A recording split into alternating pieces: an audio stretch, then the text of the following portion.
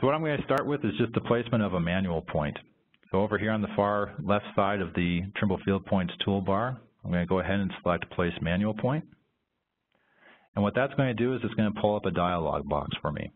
So what the dialog box is allowing me to do is I'm going to go through and start to uh, just tell the software uh, what information I want to have associated with the point that it's getting ready to place for me.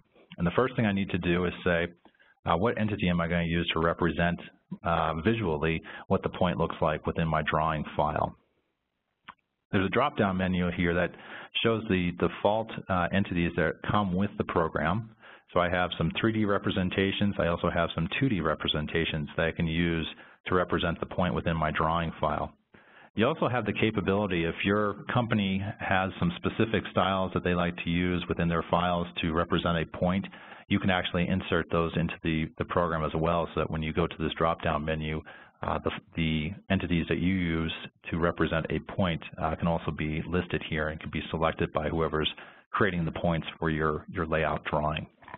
But I typically like to use the 3D cone option here, and the reason for that is just because I like uh, how it's just shaped uh, three-dimensionally and how it points at the location I'm going to be using for my point. So throughout the demonstration today, I'll probably be just selecting 3D cone as my entity uh, to represent my points. Once I've got the entity selected, the next step I want to go through is just some general information about the point that I'm getting ready to, to place. So the first thing I need to do is I need to tell the program what description I'm going to be using for this point. So in the case here, I'm going to be doing some uh, strap uh, hanger straps.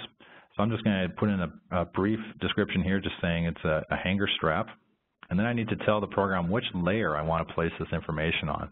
So within my, my CAD file here, I already have a layer for duct hangers. So I'm just going to tell it place the, all the points on that particular layer. And then the next category here is my place annotations. So this is again back going back to those settings that we looked at when we first opened up the application. Do I want to place annotations automatically, manually, or not at all? And in the case here, I'm going to do the automatic placement of annotations. So that's going to tell the software to place the annotations based off of the settings that I told it in terms of where to locate it in relation to where the point gets placed. Then I need to, to uh, tell the software for the next step uh, what is the starting point number that I'm going to be using for my, my points? So I'm going to give it a, a prefix definition. So in the case here, I just did HS for hanger strap.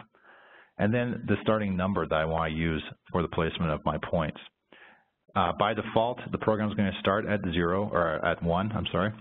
And if you uh, have already gone through your drawing file and you've placed some points, there's a little icon on the side here that you can select to refresh uh, the drawing file. And what that's going to do is the software is just going to look through and display for you what the next available uh, number is that's using that same prefix and number setting. So if you've already gone out and laid some points and you forgot you know, where you stopped um, after you laid out your points, you can select that item and the software is going to automatically tell you what the next available number is that you can use uh, for your, your numbering scheme. But I'm going to just leave this at 1 and then if I had a suffix I want to apply to the point as well, I can enter that information in. The next setting that I need to tell the program is what elevation to place these points at.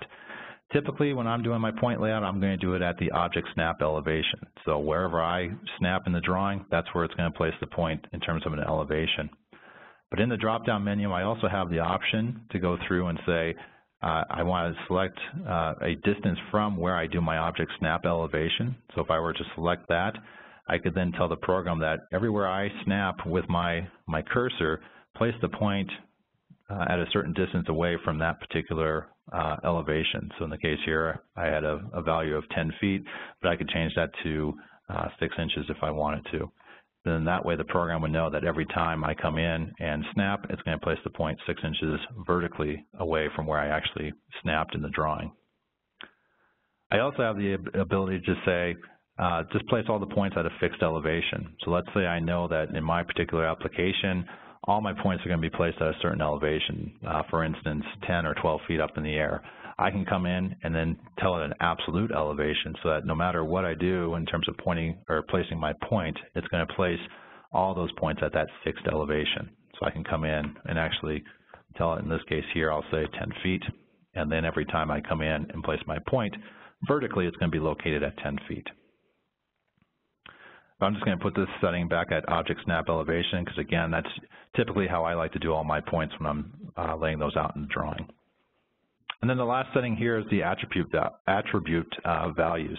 So again, I have five values that I can assign to uh, each point. And this is uh, when we were looking at those settings at the very beginning, this is where uh, that information would apply if I had changed what the, the names were. So if I had changed attribute 1 to manufacturer, this would be reading as manufacturer instead of attribute 1. But I can then type in any information that I want to assign uh, to the to the point. and then that information, when I export it out and take it into Trimble Field Link for doing my layout, that information would carry out with the point. So after going through all my settings here, I'm ready to start going and placing points uh, manually.